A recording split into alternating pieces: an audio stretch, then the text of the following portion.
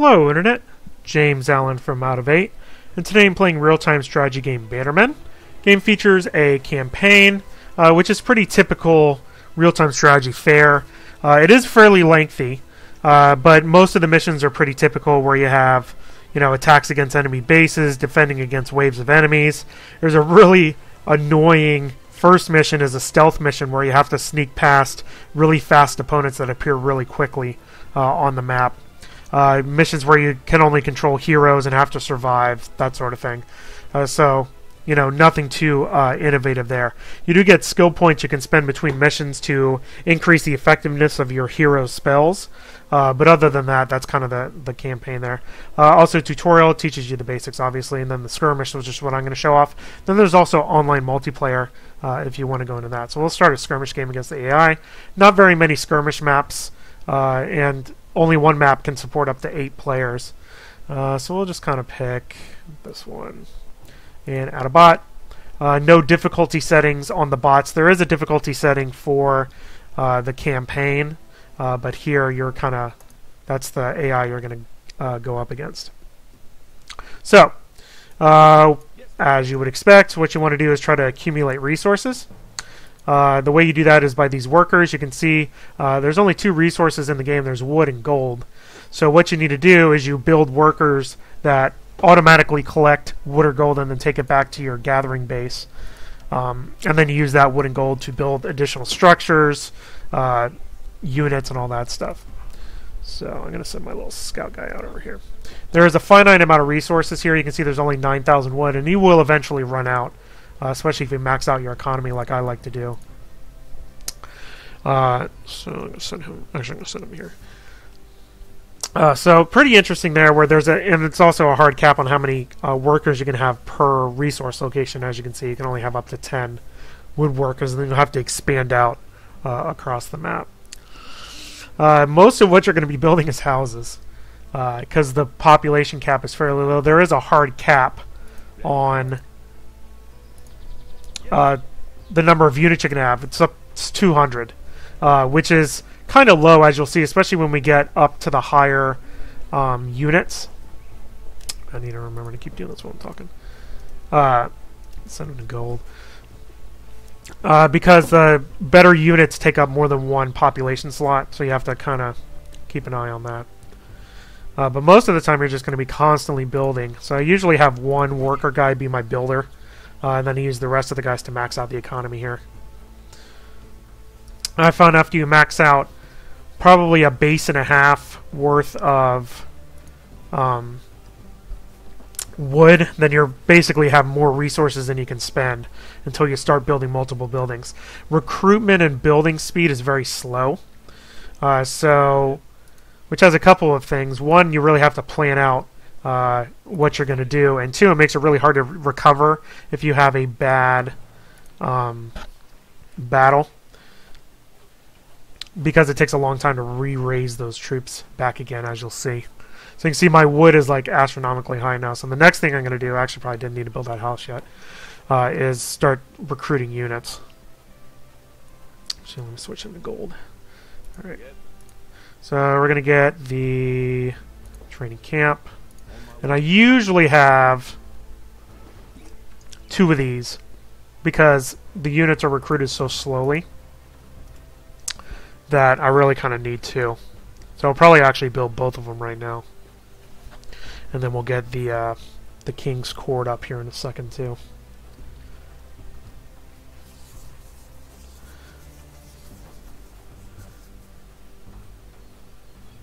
Don't have to worry about the AI attacking you. Really, I don't think I've I don't think I've ever really been attacked by the AI.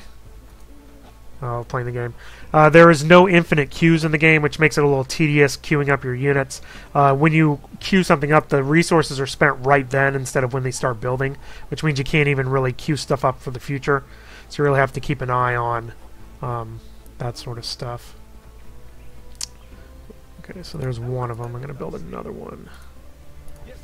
Alright, we're to start recruiting some troops and sending them over here. Should be able to afford my hero right about now, so we'll pick him. There goes all my gold, though. Oh, that's it for 10. Alright, so this is almost maxed out.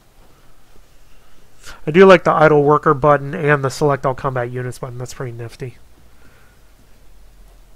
So I'm going to max this base out uh, so I can get, that'll be 4 and 5. That should be it. That'll max them out. So you see kind of a lot of waiting for stuff to, to happen. I have like so much wood now. Uh, so you really need to build multiple uh, recruitment buildings in order to afford doing that. Let's see, what do I need for the King's Court? That.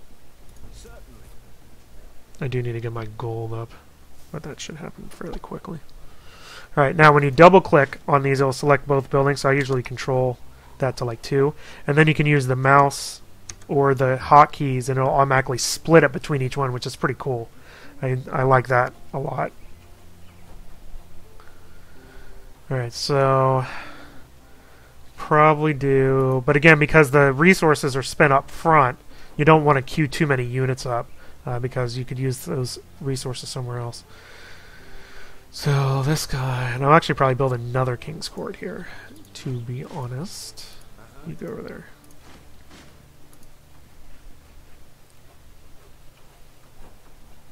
Alright, so start doing spearmen, and then we'll build another one. Maybe. Just two of each. Queue them up. I'm actually near my limit, aren't I? Okay, I'm going to borrow one of these guys. Come here. Go build a house.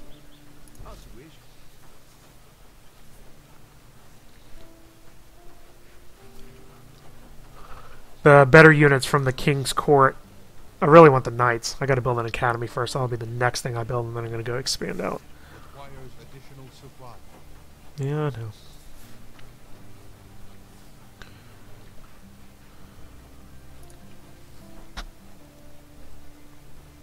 But uh, those units use a lot of supply, and like each of these is three supply and 130 gold, uh, which is fairly significant. Right. So what do I want to do? I'm going to make you build a house. I'm to have you rejoin the wood collection. So queue up for three.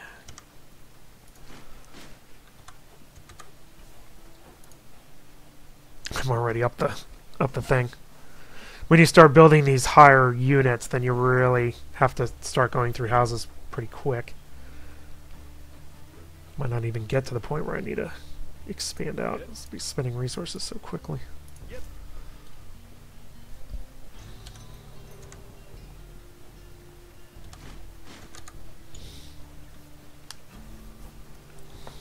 Hmm, nope. Rally point. Go down there. So, pretty decently sized army. But I'm gonna, like I normally do, I'm gonna wait until I max out my, uh, my pop limit. And actually, what I think I'm gonna do is I'm actually gonna start, after this house, I'm gonna go to the next expansion area. Uh, of which there are a lot. Every, every area has, uh, gold and wood. So, there's not really uh, you know, you don't have to make tough decisions there as to where to go because everywhere has basically all the same stuff. Right, as soon as that house is done, okay, so I'm going to send you over here, and you can build the gathering base, and those can only be placed in specific spots, which are by the wood and the gold anyway. So there he goes. Uh, let's make sure I'm making people... Oh yeah, I still need that academy, don't I? Well, steal you. Whoa, that's not what I wanted. Go over here. Build me the academy, please.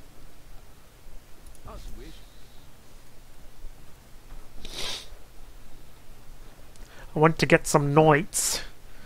I actually need some catapults too. I should build the uh, catapult thing. Uh, the tooltips here doesn't tell you what they do, what the buildings do. I always get them confused uh, especially the workshop versus the blacksmith. Uh, the black, and I'm going to probably prove myself wrong here in a minute, but the blacksmith is for upgrades, whereas the wood shop is for units.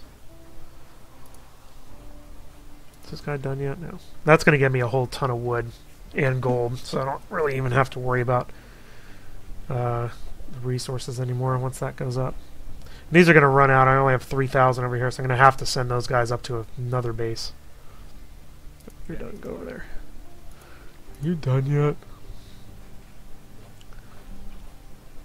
Alright, so... Requires additional gold. Uh, okay, now I want more people. And you build more houses. On my way. Again, you see, I haven't even seen the AI yet. And I don't plan to. And I know where exactly where they're at. They're over in this area in the upper, other opposite corner.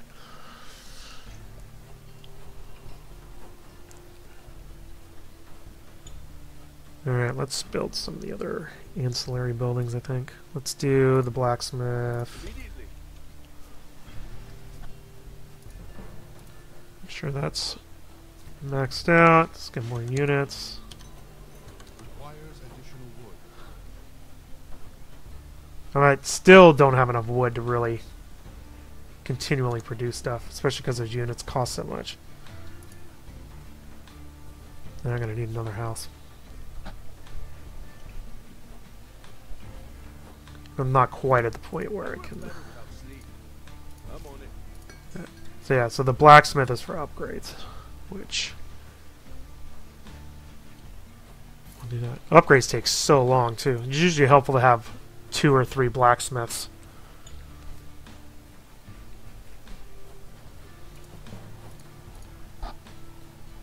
Send him over the gold.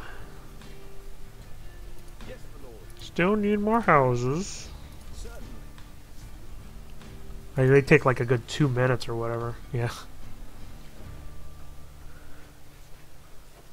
I actually might build another blacksmith. And then I want to get a workshop so I can get catapults.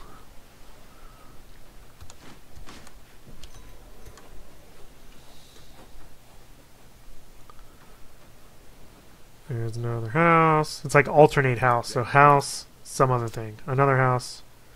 Let's do a second blacksmith. use my best tools. So two upgrades at once.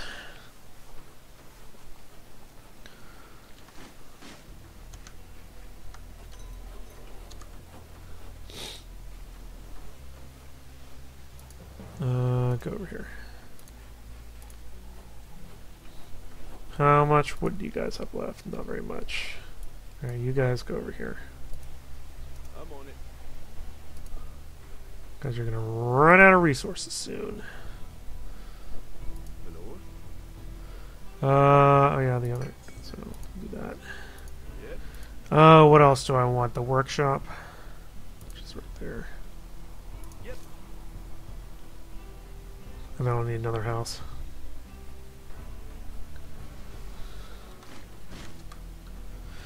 Like I said, you basically don't need. Yeah, I'm gonna run it, run into the pop cap here in a sec. You go build a gathering base, please. And place I that. wish.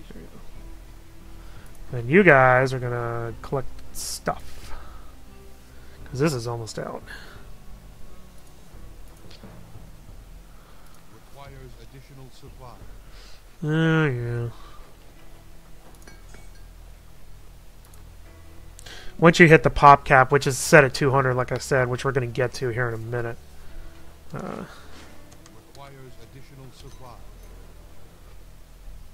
I'm just kind of low on wood. Because I pulled these guys out.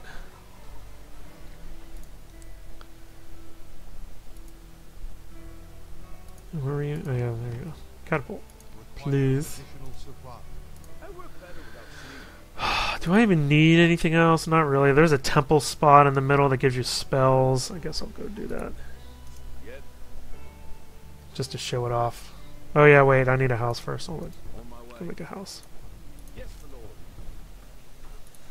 Yeah, while you guys are standing there, you make a house too.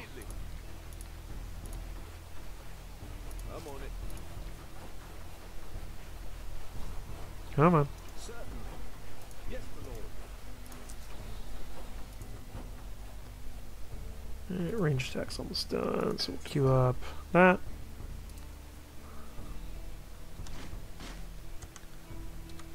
So one could argue that the low population cap limit is offset with the upgrade. I'm at my pop cap right now, 199.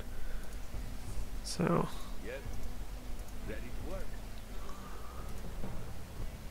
Uh, well, let's do wood. Alright, now I gotta be a little bit smarter about what I wanna build. Yes. Yes. Over here, build this temple for me. Alright, let me select everybody. And let's go here, just in case. Alright, here's all these idle guys. So we want all of you to go over here. So that'll give me access to a spell. Still could use more wood. Yeah, this shut down. This still has. Well, this this is gonna shut down in a minute too. I'll just move them up there.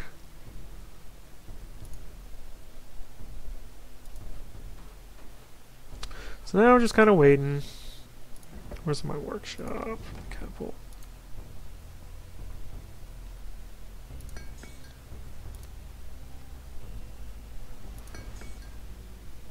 So, and it's just simple like melee ranged or armor upgrades. There goes my temple. So that gives me access to a monster bear, apparently. Oh, what else do I need? Have that, have that. Don't even need defenses, really. I have the blacksmith workshop. I have basically everything. So, I'm going to have you go collect gold. Nope, there you guys are. Go do all that. Give me more gold. Not too much, because I'm almost at the cap limit here.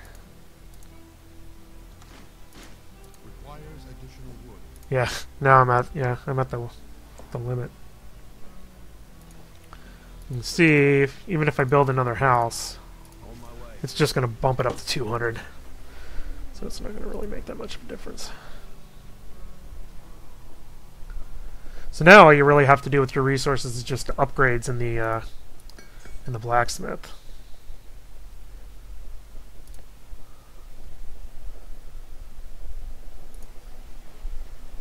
Since you uh, are limited, see, so that, yay, up to 200. uh, go do gold. Alright, well that's basically that I don't uh, uh, there it goes. That's gonna be basically my limit. But I can queue these up so at least they'll be ready to go when all my units are. Alright, so that's all my units. Now these guys are all idle now. Uh, let's go three here. And- two. Or no, just one. One here. And the other guy can go to that wood. Alright, so now we're just kind of standing around, uh, not doing anything. So, let's just get everybody going. So we'll control group one, all my 58 units. Everybody go here, and then we'll go attack the enemy base. Uh, make sure my upgrades are upgrading. They pretty much are. So I think my gold is low. A little bit. That should be going up pretty quick, I would say. Alright, so there's my mass of troops. There's no formation uh, options or anything like that. There's if you press A, you can attack move. And of course, my units are going to split themselves, so that's cool. There's my little scout dog. And he's going to die. Alright, so the defense is this guy has a bunch is going to have a bunch of arrow towers. Uh, defense is actually pretty stout. Um, it might take me a couple of goes to uh, yeah, see, my hero already died. Might take me a couple goes to go through these guys because defenses are really cheap uh, and very powerful. Yeah, look, look at this junk. He has like four. But that's priority number one is taking these towers down. And then you can worry about the units after that. I think I'm still going to be okay. Alright, and then just gonna kind of slash away at everybody. Okay, let's make sure I got units ready.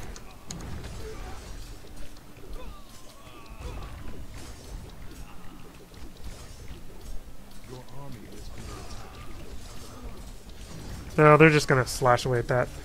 Uh, you know, the each of the heroes has um, abilities and stuff, but the battles, the people die so quick, you don't really even have time to use the things. Like I clicked on him and then he was dead. So there's not really, um, you know, time to micromanage all that stuff. Here, go, go attack him. This guy that's trying to rebuild his little thing. Your army is under attack. Your army is under attack. Your army is under attack. Your army is under attack. Your army is under attack. Yeah, I know my army's under attack. I realize that. Go over here. Go attack more stuff.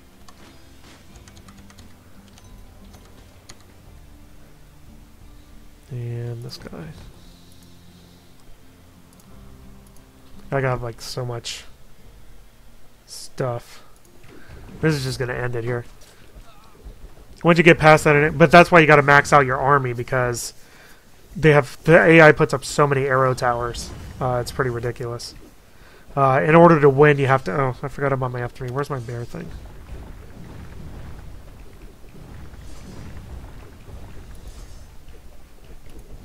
I don't even know where it like actually is. Oh, there it is. Oh, hey, come here. Go attack some stuff.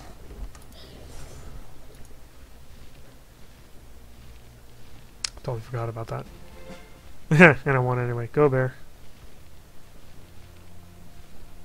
Yay! Good, good, job, Giant Bear. You really helped. Uh, and that's basically it. So, uh, that's Bannermen. Uh, so, like I said, the campaign, nothing innovative there. Uh, you know, the usual defending against wave of enemies, which is kind of annoying. Uh, attacking enemy bases, which plays just like a skirmish game. Uh, and then other weird restrictions like s- having to use stealth to go around enemy units, which is really not fun, to be honest and only being able to use hero units, stuff like that. Um, skirmish games play just like the one I just uh, showed you. Uh, if you have the same strategy every time the AI doesn't put up a fight, they don't really attack you at all. Um, online, obviously, would be more entertaining there. That's really where um, I think uh, the best part of the game would uh, be found. Uh, the interface is a mixed bag. I do like how you can double click on one building type to select all the ones that are in view, and then you just control group them, and then you can queue up and it'll automatically split the build orders between them. I don't like how they uh, do not have repeating or infinite queues available. That would, I think, cut down on a lot of micromanagement, especially because they really want you to try to micro uh, battles by using the hero spells uh, during combat. So you really shouldn't be paying too much attention to your buildings. So it'd be nice if that was automated. It's odd that the resource collection is completely automated once you assign them to the building, but then queuing up units can't be done uh, like that. It also needs tooltips explaining what the buildings do, because I always forget which one uh, the workshop and the blacksmith does between the two, because I can never remember. Um, I actually like the idea of having a limited number of workers per uh, resource building. It really forces you to expand out uh, which even if you steamroll the enemy, you'll have to expand out to at least one, usually two additional bases to collect uh, more units. Uh, the production and construction is very, very slow, um, which means you'll have to have usually two, sometimes three, depending on your, you know, what you want to build.